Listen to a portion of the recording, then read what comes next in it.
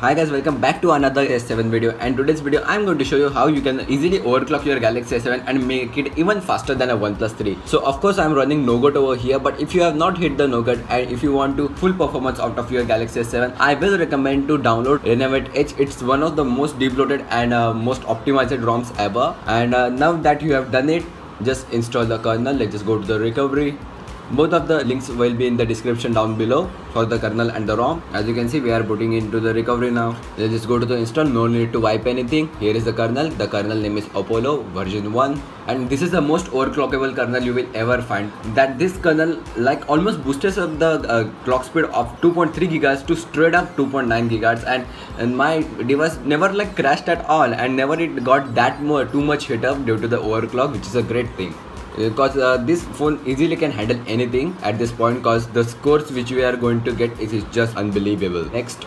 Yep story. You get the SuperSU just uh, select SuperSU because you will need uh, root in order to control the uh, clocks. As you can see you can adjust the minimum frequency. I will guess the maximum one. It would be good. 1.89 would be unstable as you can see. But uh, for my use I've been using this since last night and the device has not given me any kind of issues. Mongoose frequency to the stock of course. You can also scale up the uh, other mongoose cores to the 2.9 gigahertz. It is just stable. But if you're going to use this for a daily driver not for this one stunt I will recommend to stay over here 2.5 to 2.6 and then underclock it because in terms of gaming this will be a beast by now. As you can see just said here. Now hot plugs i wouldn't recommend uh, i just uh, recommend to keep it stockless but there is no way to uh, disable hot plugs over here. So i will recommend for the maximum ones. Then afterwards you can underclock it set the gpu to the maximum. Now i will not recommend to touch anything over here. The kernel will be installed and the first boot will be very awkward. The device will keep on rebooting and rebooting. You don't need to wipe anything. It's just a part of the device because we are changing the ram disk and everything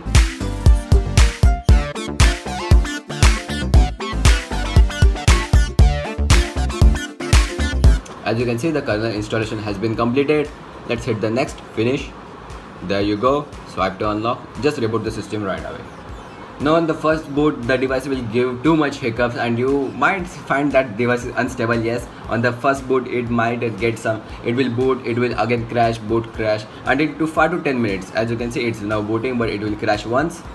As you can see it's stuck over there but it's just totally fine so on this time of the boat it just crashed only once which is a very awesome thing because we have set the clocks to the highest. Because sometimes if the cores hit to the maximum uh, frequency of their uh, limit they just crash. But as you can see you have to download a Synapse app from the play store. It's just free and only 200 kb. Open Synapse grant all the root permissions. As you can see Synapse has been loaded. Everything is working just fine. Now slide down to the right. You get the core uh, frequency. You can set it to the maximum because we are doing some uh, benchmarking right now. You can set it over here to the 1 gigahertz minimum. Overclock your other cores to the maximum too this is for just the sake of overclocking. I will not recommend to do on this a daily basis. Cpu govern the performance a3 performance everything on performance mode now for the multi-core HMP, you have to just select for the performance. I will recommend to turn it off back again because the device might get a bit too hot in sometimes uh, during ideal works and due to that Note 7 debacle, I will not even recommend to uh, turn everything on at the same time. And if you turn everything down to the 1 gigahertz and uh, set everything on power saving, you can't even imagine how what kind of battery life it gets but uh, you can't really use it for gaming but if you're uh, doing your usual tasks you can basically set a profile for a battery and a performance which would be very good. Or gpu you can set it for the booster. The gpu load to the 95% cause uh, if the gpu loads to the 100% the ui might crash and you can't even like complete the antutu score so that would be very hard. Now over in this kernel you don't get the storage scheduler to the FIOP so you can't really change anything over here. Network you can set it to the westwood. Westwood is a bit faster. And a good part of this rom if you manage uh, like to connect a usb cd rom you can also read that with this kernel which is just amazing thing. But i don't know where you can get a portable usb cd driver. Just a whole bunch of settings. And now that we have completed everything let's just clean the ram once. Let the device cool down a bit. And let's just head on to the benchmark. Here it is and benchmark let's just test it again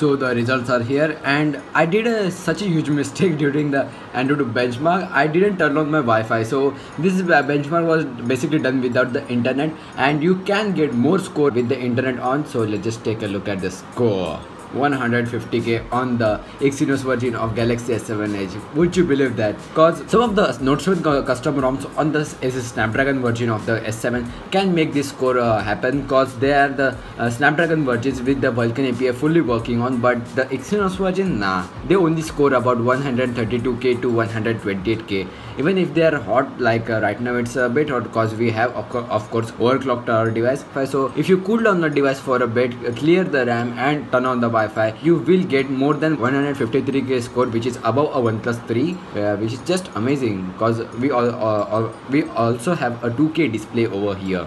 I will do the same test again and the score will be in the thumbnail of this video so you will find out how it works. But as you can see over here it's in the top 7 of the category iPhone 7 Plus which I am currently using. iPhone 7 Plus the winner which I am currently using for recording this video is the toppest 183k I mean these scores are still pretty low. My iPhone 7 like scores around 186k which is just blazingly fast but still the fastest uh, portable device is the Apple's iPad Pro which scores around 200k and right now the upcoming fastest device is, is the Xiaomi's Mi 6 which also scores around 210k like s7 is, is no comparison for that kind of performance. But as you can see we are in the top list. Here are some chinese phones over here here's the Mi 5 Plus, Mi 5s Plus, Vivo X5. We are uh, almost above everything. Like Mi, MI Note 2 is also behind us. The iPhone 6s Plus, of course. As you can see over here, here is the Snapdragon version of the S7. We are far ahead, but still image UX process. The Qualcomm one has a better image processor with the Sony one.